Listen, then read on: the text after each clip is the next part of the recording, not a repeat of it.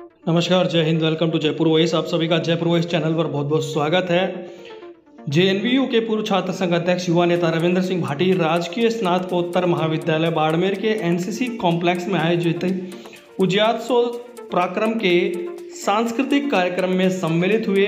इस दौरान उन्होंने एनसीसी के संयुक्त तत्वाधान में उजास संस्थान बाड़मेर द्वारा संचालित उजास ग्रामीण रोवर एवं स्वतंत्र रोवर से मिलकर उनसे संवाद किया और उन्हें साथ ही शुभकामनाएँ दी। और कई जो बड़े एनसीसी के अधिकारी थे, उन सबसे उनकी मुलाकात हुई, उन सबको उन्होंने बधाई दी।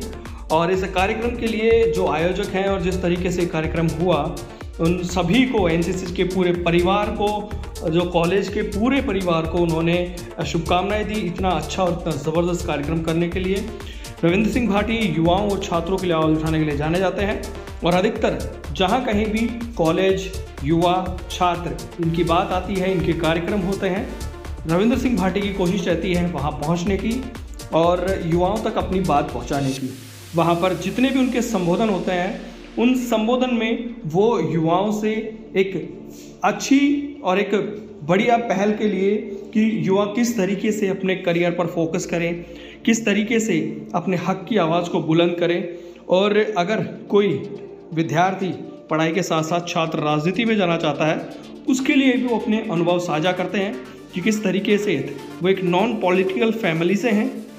उनके परिवार में कोई पॉलिटिक्स से नहीं था, उनके फादर खुद एक टीचर हैं और किस तरीके से वो वहाँ से एक पॉलिटिक्स बैकग्राउंड में ना होते हुए भी इतने अच्छे पॉलिटिकल लेवल पर पहुँचे, सभी के साथ सहयोग से।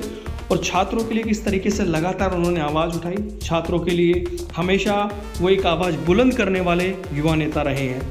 तो एनसीसी के इस कार्यक्रम में भी उन्होंने अपने संबोधन में बहुत सारी ऐसी बातें कही और एनसीसी जो करता है, जो युवाओं को प्लेटफॉर्म देता है, उसके बारे में भी उन्होंने बहुत सारी बातें इस मंच के माध्यम से, इस सांस्कृतिक कार्यक्रम के माध्यम से रखी। बाकी की लेटेस्ट अपडेट और न्यूज़ के लिए जयपुर इसके साथ जुड़े रहें। जय हिंद, जय भारत।